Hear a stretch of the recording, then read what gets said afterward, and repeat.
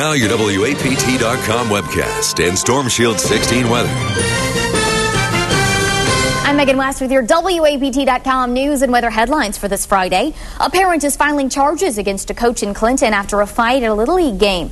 Dwayne Pickett says a football coach and fan assaulted his 12 and 17 year old sons after the game. He says Clinton Parks and Rec suspended the coach but kicked his 12 year old out for the rest of the season. Pickett says he wants the two adults held accountable and he's filed civil assault charges. A new report from the state auditor says mistakes on Madison County contracts could leave taxpayers exposed to fraud.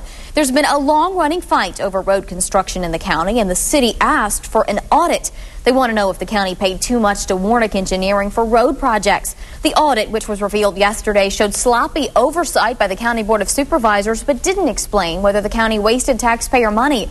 The financial part of the audit is still under investigation. County supervisors have already published a response saying they disagree with the conclusions of the audit.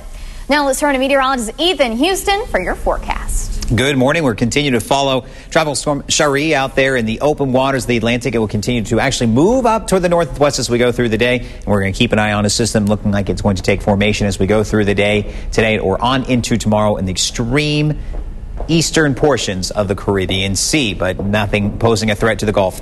45 this morning will drop all the way down into the 30s off to the north. That's because a nice ridge of high pressure continues to build across the area. This ridge of high pressure will continue to stay with us not only through the day today, but on into tomorrow. And we'll have lots of sunshine to keep around. It is going to be a chilly one tonight. If you think the 40s were cold, look at overnight lows here in Jackson for tonight, all the way down into the upper 30s. Some spots will park in the mid 30s and could see some patchy frost developing early Saturday morning.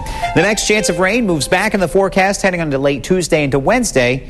And then we will stay relatively cool into mid parts of next week. I'm Live Storm Shield 16 meteorologist Ethan Houston with the forecast here on WAPT.com.